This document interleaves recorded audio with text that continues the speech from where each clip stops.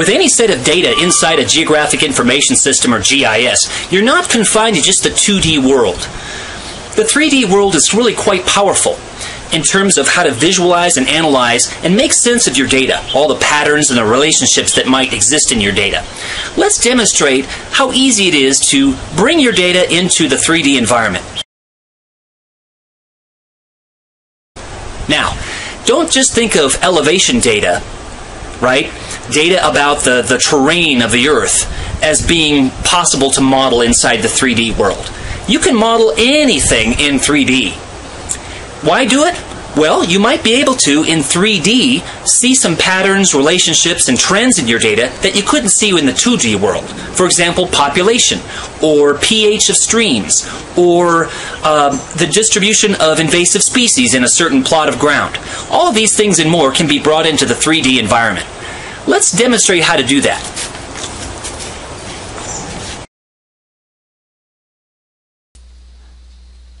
There are some powerful things you can do with 2D mapping. Sometimes, though, you want to visualize things and explore data in a 3D environment. It doesn't have to be elevation data, as I mentioned earlier. It can be population, it could be water quality, it could be anything. Let's go ahead and illustrate what I mean.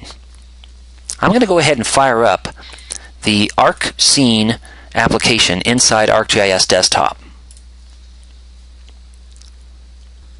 Okay, there's my 3D ArcScene.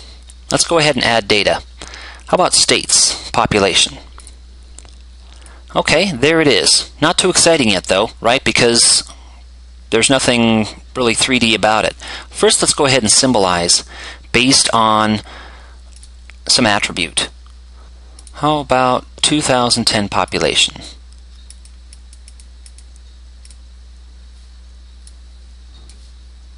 Okay. Alright, I've got some population data there, but it's still flat. So, go ahead and double click on the layer, and let's do an extrusion. Extrude features in layer. Extrusion turns points into vertical lines, lines into walls, and what we have is polygons into blocks. So my extrusion, I'm going to put 2010 by Okay, let's do the same kind of thing with cities now. I've got cities, and I'm going to extrude those based on the population. In this case, I've got some 2,000 populations. Okay, so there I've got some major cities. Now, the vertical bar for these cities is the size of the cities. So there's definitely a relationship, right? We can see some of these low population states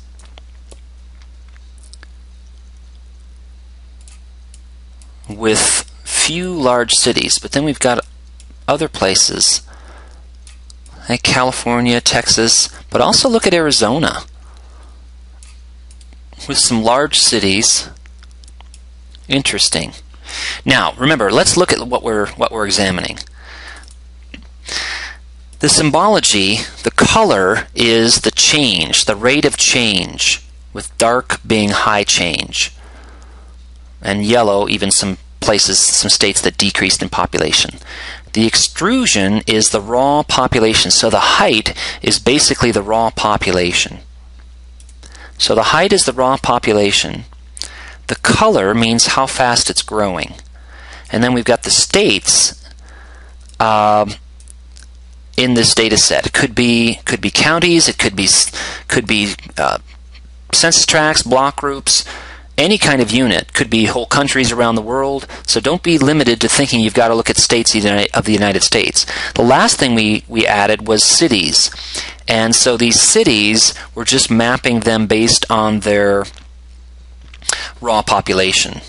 And to check that go ahead and go back in here. Where raw population and uh, we are classifying all of those as this single symbol Great.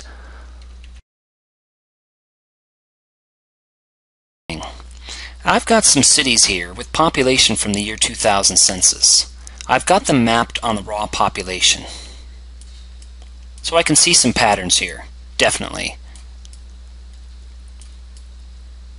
I see that the middle part of the country, for example, is relatively devoid of large cities. There's another thing I can do though, just like I can do in the 2D world.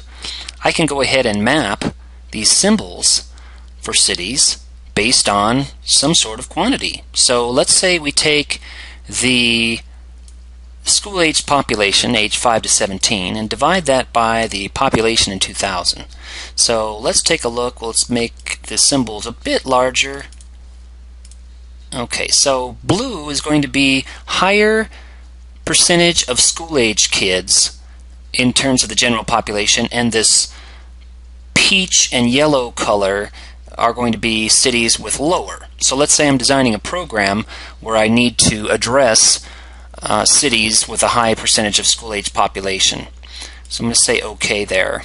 Aha, now I can see that uh, not all cities are created equal. There are certain cities that are very large in size, New York City, Chicago, uh, for example. Let's go ahead and click on the Identify button. Okay, so there's New York City, and there is Chicago. Yep, and over here out west I've got Los Angeles. So those large cities have a about a medium sort of average in terms of the school age population, but not all cities are created equal. So let's go ahead and examine. Look at this one right here. Detroit has a higher percentage of school age kids uh, than other large cities. Interesting. And same with this city down here on the border. And looks like Phoenix has a higher percentage than others. And so does San Antonio and Memphis. So what does this mean? Well, if we're designing a program, interestingly, there's a lot of cities over here in California with a higher percentage of school age population as well.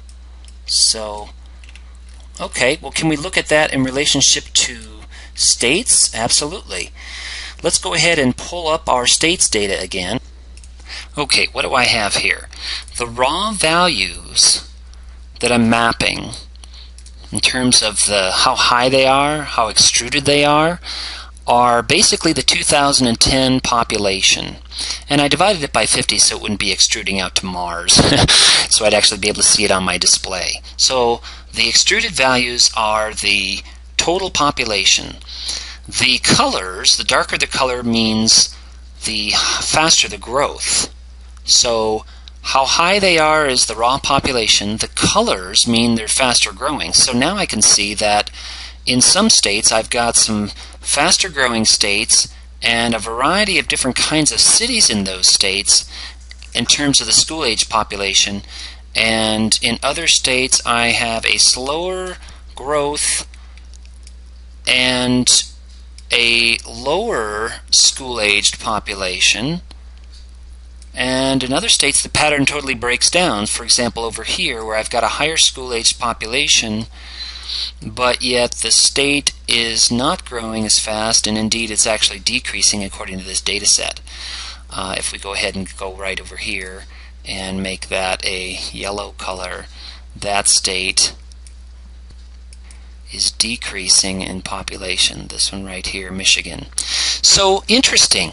We can visualize and make connections between different variables inside the 3D environment.